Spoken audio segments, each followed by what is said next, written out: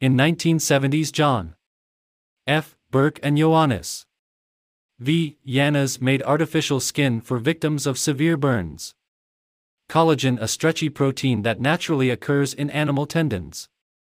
They combined collagen fibers taken from cowhide with long sugar molecules from shark cartilage and made a polymer membrane, then dried this membrane and stuck onto a viscous plastic. As the patient's skin grows back, the artificial skin breaks down naturally and can be peeled away.